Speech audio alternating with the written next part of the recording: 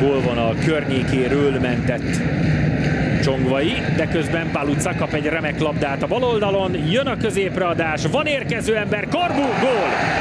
Nagyon szép támadás, és Korbu gyakorlatilag a bal alsó sarkot úgy lőtte ki, hogy ott már nem is nagyon volt hely. A lehető legjobb megoldást választotta.